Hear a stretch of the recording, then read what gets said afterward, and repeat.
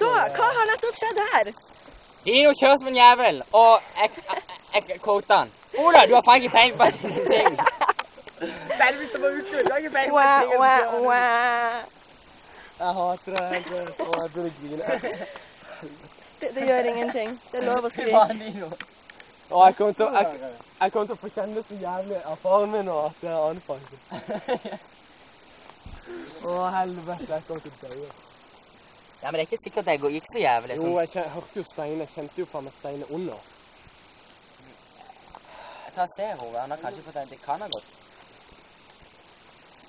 Så jævlig sykt. Ja, jeg, det er jo bare gøy. Det går hele veien.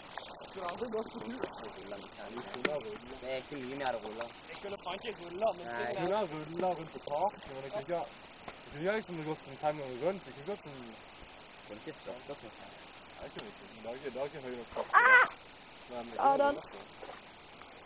Jeg går i myr. Samsa! Herregud, det er det uhell. Ja, men ting er at det uhellet kommer til å koste meg så jævlig.